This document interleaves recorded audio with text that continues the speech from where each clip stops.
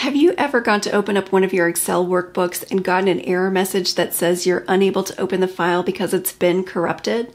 This happened to me recently and I found some steps that I was able to take that helped me open my document. I'm going to show you what I did today and hopefully it will also work for you. So what's ha probably happened is you've gone and gotten this error message because you've tried to open up your file and it's saying that it's corrupted and Excel cannot open it. The first thing you're going to want to do is open up Excel.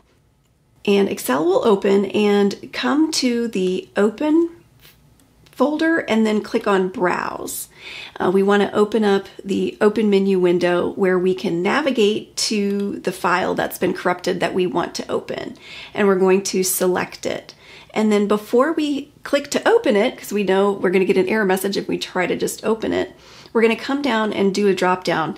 You'll notice here there's an option that says open and repair. If this option is grayed out, then unfortunately there may not be anything that you can do to fix the file and open it. But if you can select open and repair, go ahead and select that option. You'll get a message here that pops up and the first thing you're going to try is to click on repair. This is going to, if this works, this will open up your document for you, which would be great. Um, if this does not work for you, then you're going to follow these steps again and click on extract data. Extract data is the option you would select if you, um, if it can't be repaired and you need to salvage at least some of the data or try to salvage some of the data in the file. But we're going to go ahead and click on repair and then um, hopefully Excel will, it might take a few minutes, but it might fix your issue with the spreadsheet and be able to open.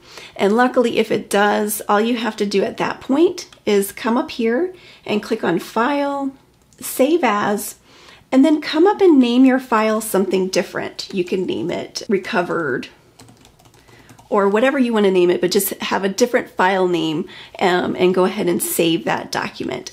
Now, when you open up the new saved document, you shouldn't have any issues or run into that error as long as it's been repaired successfully.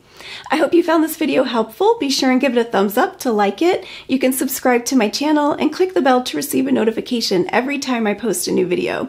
Be sure and visit my website at sharonsmithhr.com. Thanks for watching and I'll see you next time.